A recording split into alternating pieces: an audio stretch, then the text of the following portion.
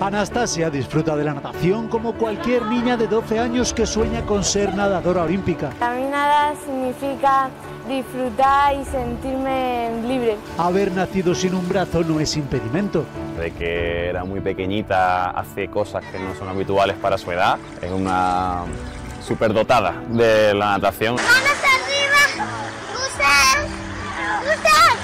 En competición es un auténtico animal competitivo. Tanto que compite y en ocasiones gana a los nadadores sin discapacidad de su edad. Desde que es Benjamín gana medallas. Ella de hecho es campeona de Andalucía del 200 brazas, con todas las nadadoras de su edad y con sus dos brazos, sin ningún tipo de discapacidad. No tiene ningún tipo de límite. Ahora, gracias a un premio de 50.000 euros para la fundación que la ayuda, puede seguir nadando por toda España. Gracias a esa beca he podido viajar más y a un campeonato de España convencional, mi primera vez que he ido. Mi sueño sería ir a los Juegos Paralímpicos y irme a Estados Unidos. El sueño de esta luchadora está más cerca.